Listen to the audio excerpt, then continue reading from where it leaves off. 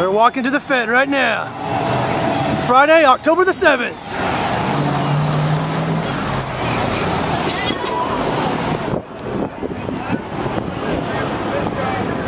Look at that crowd.